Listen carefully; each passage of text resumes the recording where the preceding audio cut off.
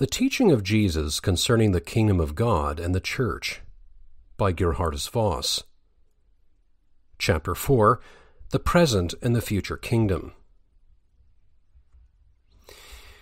We have already seen that our Lord makes a sharp distinction between the Old Testament order of things and the kingdom of God, and in doing this conforms to that side of the Old Testament representation which itself looks upon the kingdom as future.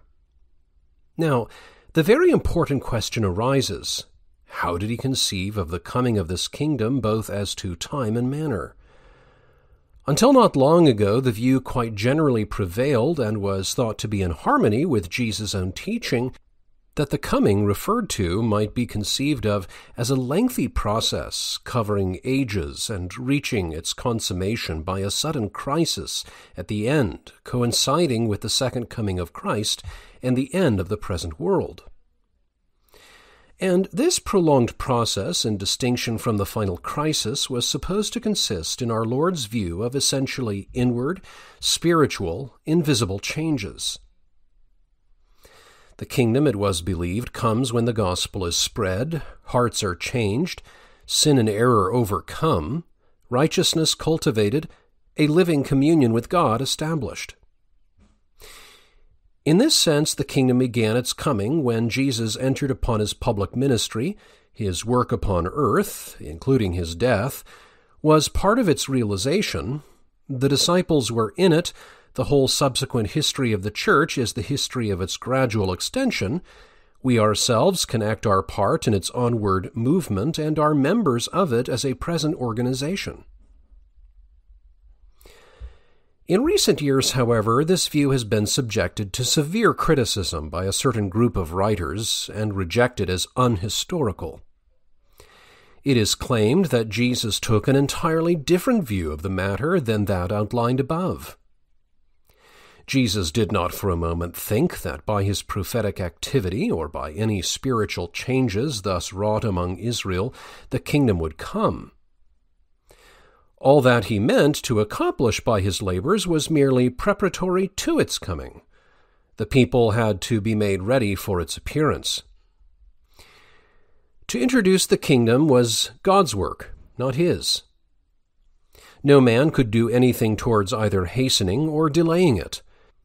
And when it came, it would come at one single stroke, by a sudden supernatural interposition of God, in a great world crisis consequently not for a part, but with its whole content all at once, fulfilling all the promises, giving the signal by its arrival for the end of the present world.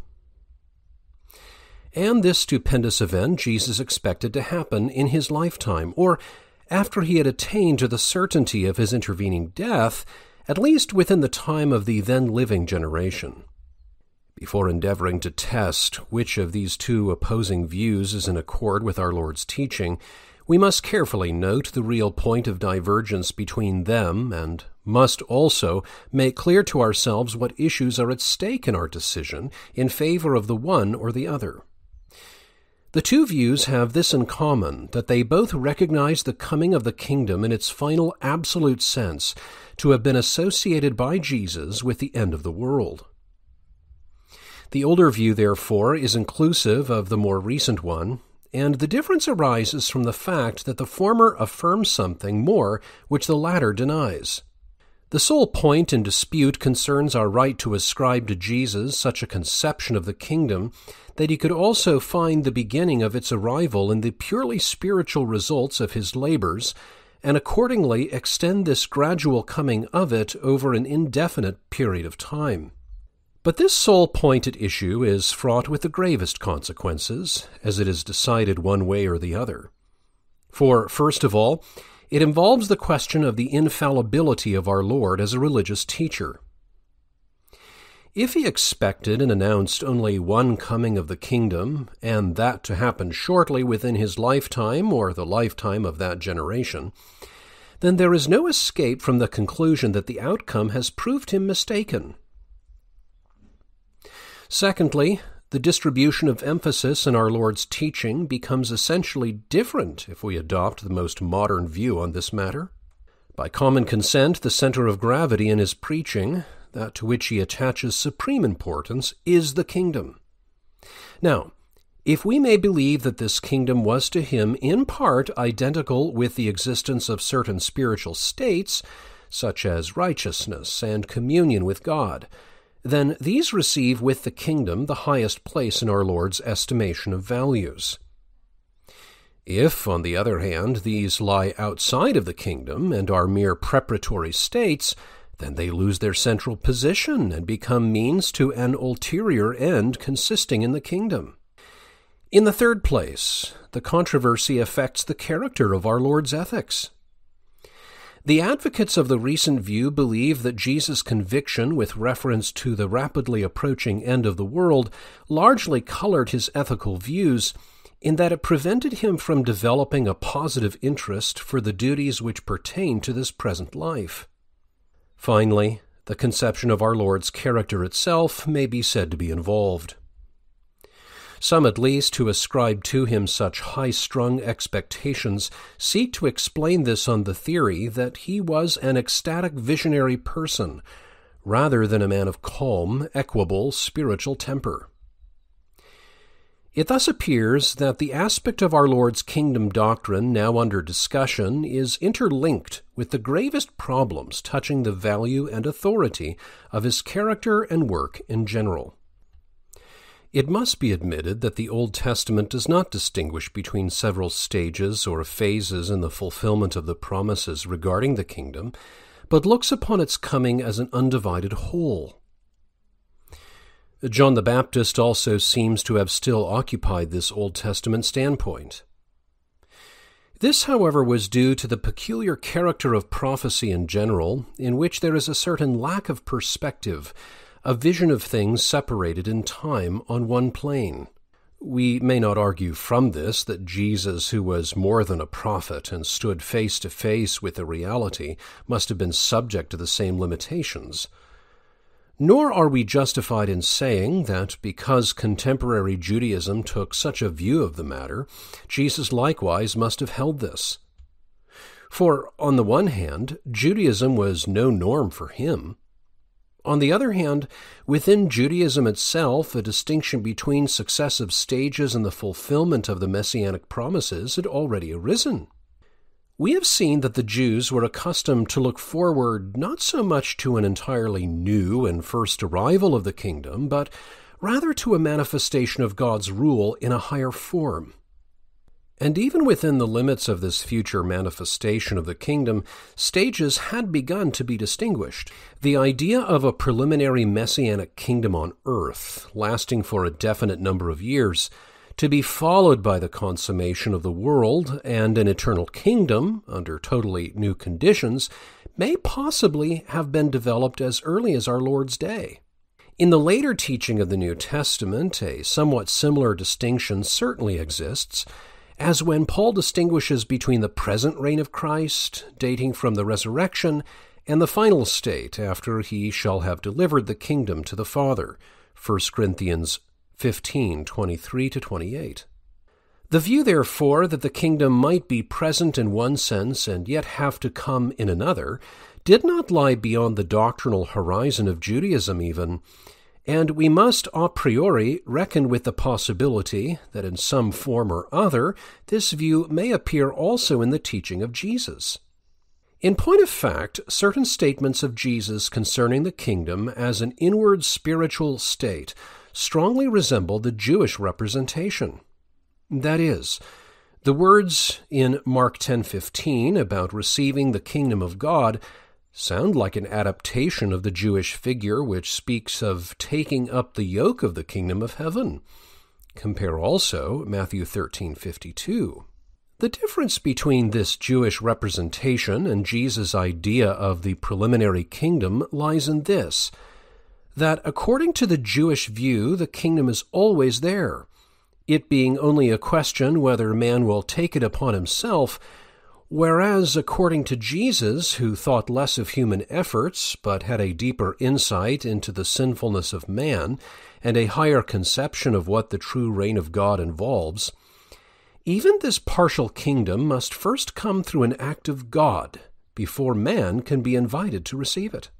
As to the other point of contact in the Jewish expectation, it should be remembered that the intermediate kingdom was to begin with the appearance of the Messiah. If then Jesus regarded himself, even while on earth, as the Messiah, and as engaged in messianic work, which we have no reason to doubt, he must also have looked upon the stage of this earthly messianic labor as a provisional stage of realization of the kingdom. Of course, here again, he transformed the Jewish conception by his spiritualizing touch into something entirely different and infinitely higher than what it was before. Coming to the facts themselves, we observe that no one denies the presence of the idea of a spiritual provisional kingdom in the gospel record of Jesus' teaching as it lies before us. The view that Jesus did not entertain this idea of necessity involves ascribing to the evangelists an unhistorical representation of what our Lord actually taught. It is alleged that the gospel tradition on this point was colored by the later development of things, which showed that a long time had to intervene between the first and second coming of the Lord, and therefore compelled the assuming of a provisional kingdom of protracted duration. Upon this critical phase of the question, our present limits and purposes forbid us to enter. We only note it to remark that for those who hold to the historical trustworthiness of the Gospels, no doubt can here exist. The present spiritual kingdom is by common consent plainly recognized in such sayings as Matthew 11:11, 11, chapter 13:41, and 16:19. Apart, however, from critical attempts to eliminate this element from Jesus' teaching, efforts have been made to attain the same object by means of exegesis, and into these we must briefly look while examining the available evidence. Clearest of all seem the words spoken by our Lord in answer to the Pharisees who had accused him of being in league with Beelzebub. If I by the Spirit Luke, finger, of God cast out demons, then the kingdom of God has come upon you. The underlying supposition of this argument is that where the kingdom of Satan is destroyed, there of necessity the kingdom of God begins. If the former already took place at that time, then the latter also had become a present reality. Now, it has been urged that this saying proves nothing in favor of the usual conception of a spiritual kingdom to be gradually realized, because our Lord might look upon the casting out of demons and other miracles as signals of the rapidly approaching final coming of the kingdom, the beginning, as it were, of the end. In answer to this, we observe that, even if this were a correct interpretation, the presence of a certain element of gradualness in our Lord's conception of the matter would thereby be in principle admitted. The coming would not be entirely abrupt. There would be not only premonitions, but actually anticipations. But it is impossible to interpret the words in the above sense, because at an early point in his career, our Lord looked forward to his death as something that had to intervene before all things could be fulfilled, so that he could not have regarded his conquest over the demons as immediately preceding and heralding the end. His meaning must be that when Satan's power ceases, a new order of things begins, which in itself is equivalent to the rule of God. In one respect only, it will have to be conceded that the saying under discussion does not embody the full idea of the spiritual kingdom of God. It proves the actual presence of the kingdom at the time of our Lord's ministry, but does not directly affirm that this kingdom has its reality in inward, invisible states. The casting out of demons, like other miracles, belongs rather to the outward, visible sphere. The same qualification will have to apply to another passage at least in one of the two renderings of which it is capable. According to Luke 17:21, Jesus answered the question of the Pharisees as to the time of the appearance of the kingdom of God by declaring, "Behold, the kingdom of God is entos humon." This may mean within you, or it may mean in your midst. In the former case, both the spiritual nature and the present reality are affirmed. In the latter case, only the presence of the kingdom in some form at the time of speaking is implied. Recently, it has been asserted that on the rendering in your midst, even the last mentioned inference is not warranted, because our Lord speaks of the future, and means to say, at its final appearance, the kingdom of God does not come so as to be subject to observation or calculation. People will not be able to say, here or there, Lo, all at once it will be in your midst. But this is untenable, because from other sayings we know that the final coming of the kingdom is preceded by certain signs, and insofar is actually subject to observation and calculation. We must choose between the two renderings given above, and of these the second, in your midst, deserves the preference for two reasons. First, because it suits the best purpose of the question of the Pharisees, which was as to the time of the coming of the kingdom, not as to its sphere. And because of the unbelieving Pharisees, it could scarcely be said that the kingdom of God was within them. Our Lord means to teach the inquirers that instead of a future thing to be fixed by apocalyptic speculation, the coming of the kingdom is a present thing, present in the very midst of those who are curious about the day and the hour of its sometime appearance. Now, this does not directly explain how the kingdom is present. The view remains possible that Jesus referred to miraculous works as one form of the manifestation of God's royal power, in which case this saying would not carry us beyond the foregoing about the casting out of demons. But the view is equally plausible that he referred to the establishment of God's rule in the midst of Israel through the spiritual results of his labors. Another statement which clearly teaches both the actual presence of the kingdom and its spiritual form of existence is Matthew 11:12, Luke 16:16. Here, the law and the prophets are said to extend until John, that is to say, the prophetic looking forward dispensation of the Old Covenant reaches its close in John. From there onward begins a dispensation in which the kingdom of God is the theme no longer of prophecy, but of gospel preaching. Therefore is no longer future, but present. John himself is not in this kingdom, while others are. This, of course, cannot apply to the final kingdom, for from this Jesus certainly could not have excluded the Baptist.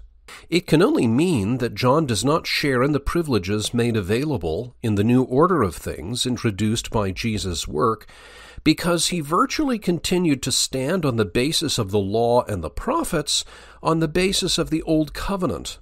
And these privileges, to which John had no access, certainly consisted not in the mere opportunity to witness the miracles of Jesus as external acts a participation of inward spiritual blessings must be referred to, for on account of this our Lord pronounces the smallest or smaller in the kingdom greater than John. And we know from other sayings that Jesus measured true greatness in a different way than by contact with his miracles. The well known saying from the Sermon on the Mount Seek ye first his kingdom and his righteousness, and all these things, that is, food and raiment, shall be added unto you. Matthew 6:33 may also be quoted in this connection. Even though the view that righteousness is here present righteousness, and as such a closer specification of the kingdom, should be subject to dispute, the fact remains that the kingdom itself appears as a possession obtainable in this life. For food and clothing are here represented as something to be added not to the seeking of the kingdom, but to the kingdom itself. And it goes without saying that this is applicable only to the kingdom in its present state of existence. Most clearly, however, both the present reality and the internal nature of the kingdom are taught in some of the great parables Matthew 13, Mark 4, Luke 13. In the parable of the wheat and the tares, the kingdom appears as a state of things in which the good and the bad still intermingle. The same is true of the parable of the fish net. Here, then, obviously, our Lord speaks of the kingdom in a form different from its final form, which is represented as beginning with the separation between the two kinds. Now, these two parables and the interpretation of the second, especially in Matthew 13 36 to 43, are said to betray the influence of later conceptions. But what shall we say about the one of the mustard seed and the leaven? It cannot be denied that Jesus here conceives of the kingdom as a growing organism, a leavening power, conceptions which will scarcely apply to anything else than to a spiritual order of things.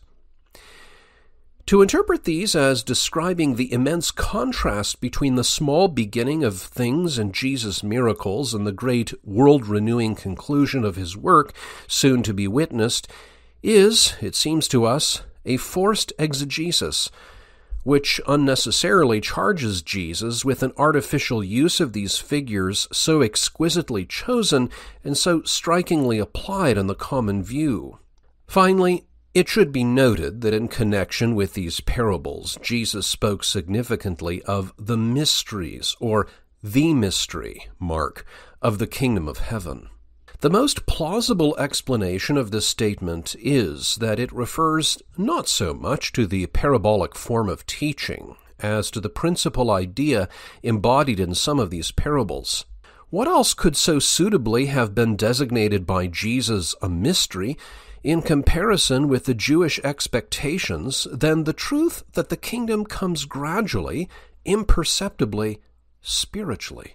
It appears from the foregoing that it is impossible to deny to our Lord the conception of an internal kingdom which, as such, comes not at once, but in a lengthy process. Some writers, recognizing the necessity of this, are yet unwilling to admit that it was a conception held by Jesus from the beginning of his ministry. In their opinion, his mind underwent a development on the subject beginning with the expectation of a kingdom to appear suddenly by an immediate act of God, he afterwards became convinced that the opposition offered to his person and work rendered this impossible, that the kingdom of glory could not immediately be realized, and thus was led to believe that only on its internal, invisible side the rule of God could even now be established. The opposition encountered would lead to his death, but death would be a transition to an exalted state, which would in turn be followed by his coming with the clouds of heaven and the establishment of the kingdom in its full final form. A single glance at the Gospels, however, will show how impossible it is to distribute the sayings related to the present and final form of the kingdom in such a way as to make out a period at the beginning of which Jesus knew only the latter. Some of the clearest utterances regarding the spiritual coming of the kingdom belong to a comparatively early stage of his teaching. Compare Matthew 11:11, Mark 2:18 to 22 nor do the general arguments adduced in favor of this hypothesis have sufficient force to commend it. It is true, Jesus began with representing the kingdom as future, but this applied at the beginning equally to its spiritual and to its visible final realization. He urged the disciples continually to seek after the kingdom, but this only implies that within them it has to come ever increasingly. He speaks of the eschatological kingdom as the kingdom, absolutely, but this mode of speech is not confined to the early period of his teaching.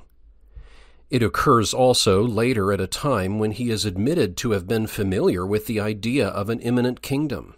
He could thus speak because only at the end of time will the kingdom in its ideal completeness appear. This does not exclude that he recognized less complete embodiments of the kingdom idea as present long before. Again, it is true that he does not at first announce himself as Messiah, and from this the inference might be drawn that with his Messiahship he put also the coming of the kingdom into the future. This inference would be correct if restraint in the announcement of himself as Messiah had proceeded from the conviction that he was not as yet the Messiah, nor his present work messianic work in the strict sense of the term. In point of fact, Jesus kept his messianic claims in the background for pedagogical reasons, while perfectly conscious that he was exercising messianic functions.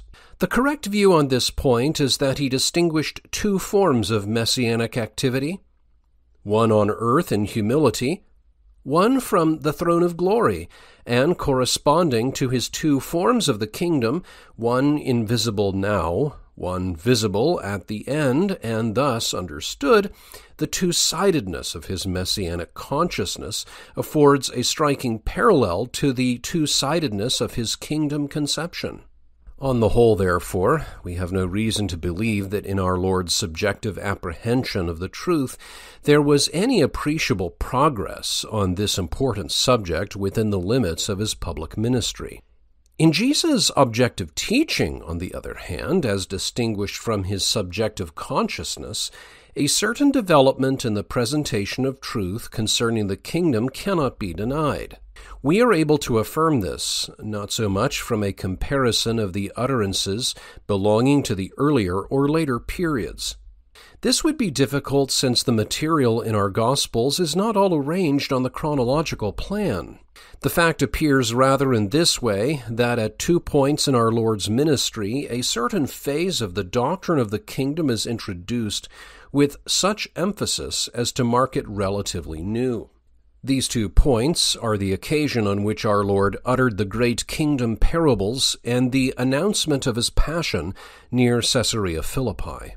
From the manner in which the great parables draw the distinction between the immanent and eschatological coming of the kingdom, and from the elaborateness with which Jesus here describes the gradual and visible character of the former as resembling the process of organic growth, we are led to infer that previously this principle had not been accentuated in his teaching.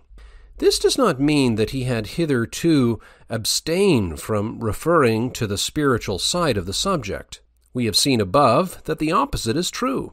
It simply means that up to this point, while sometimes predicating of the kingdom things true of it in its purely spiritual stage, sometimes predicating of it things of eschatological character, he did not on purpose formulate the difference and the relation between the two, but treated the kingdom as a unit of which both classes of statements could be equally affirmed. The historical explanation of this peculiarity is probably to be sought in our Lord's desire to keep in close touch during the first period of his ministry with the Old Testament type of teaching, which, as we have seen, did not as yet distinguish between periods and stages in the realization of the kingdom. Thus, in condescension to Israel, he took up the thread of revelation where the Old Testament had left it, to give a new and richer development to it soon after in his epoch making parabolic deliverances. The new element introduced at the second critical juncture in the region of Caesarea Philippi concerns the relation of the church to the kingdom and will be discussed afterwards in a separate chapter. It should be observed that our Lord's teaching relates to two aspects of the same kingdom, not to two separate kingdoms. The ancient theological distinction between a kingdom of grace and a kingdom of glory is infelicitous for this reason. In the parable, the growing of the grain and the harvest belong together as connected parts of the same process. There is one continuous kingdom forming movement which first lays hold upon the inward spiritual center of life by itself, and then once more seizes the same in connection with its external visible embodiment. In the second stage, the essence of the first is re-included and remains of supreme importance. The immanent kingdom, as at first realized, continues to partake of imperfections. Hence, the eschatological crisis will not merely supply this soul of the kingdom with its fitting body, but will also bring the ideal perfection of the inner spirit itself. Our Lord's doctrine of the two sided kingdom, thus understood, is an eloquent witness to the unique energy with which he subordinated the physical to the spiritual as well as to the sobriety with which he upheld the principle that the physical is not to be despised, but appreciated in its regenerated form as the natural and necessary instrument of revelation for the spiritual. This audio recording was read by Michael Ives. I hope you found it enlightening and edifying. Visit westportexperiment.com for more audio resources and where I write about parish missions, the care of souls, and all things Reformed.